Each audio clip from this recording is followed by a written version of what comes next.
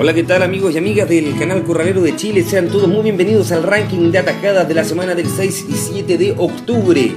Nos vamos con el número 10 de este ranking, Luis Gerardo Soto, que entra pedaleando para la mano de adelante y le pone 3 puntos de los buenos en la primera atajada. Nos vamos con el 9, Roberto Bozo, en la contenta, entra chiquitito para adelante, se busca y remata de 4 puntos buenos.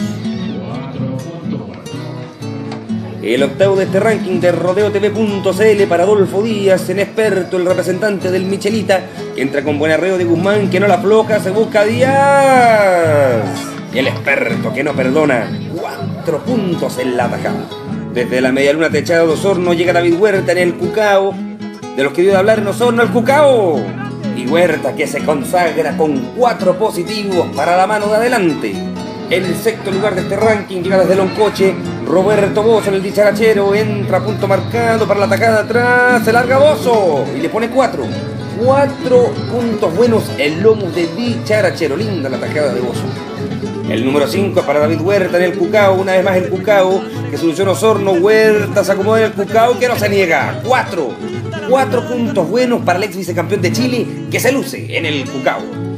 Cuarto lugar para Ruiz Tagle en el Profeta. Un novillo difícil, como que se tranca Ruiz que batalla. Sacobeda el Profeta. Remata de tres. Difícil la tajada. Soberbia definición del Profeta.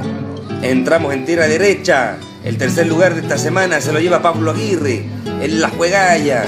Bueno, el arreo de Manuel Yañez y Pablo Aguirre que nos sorprende con esta extraordinaria tajada de cuatro puntos buenos.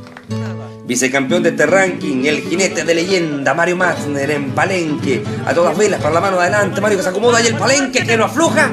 ¡Qué atajada! Parejita en la distancia justa. Cuatro puntos buenos para el Palenque. Y la mejor de la semana, Alfonso Angulo, Epifanio. Sello de raza en Osorno, entra tranquilo Angulo, ve a la distancia y se larga con clase. Cuatro. Sobrios, netos y certeros cuatro, sin ninguna patada, qué puntería, qué potro el Epifanio, lo justo y necesario, ni mucho ni poco. Esta fue la mejor atajada de esta semana. Ahí está de nuevo el Epifanio en riendas de Alfonso Angulo. No se olvide que este domingo estaremos en directo desde el Primera con Puntos de San Clemente, Asociación Talca, solo por el canal Corralero de Chile, rodeotv.cl.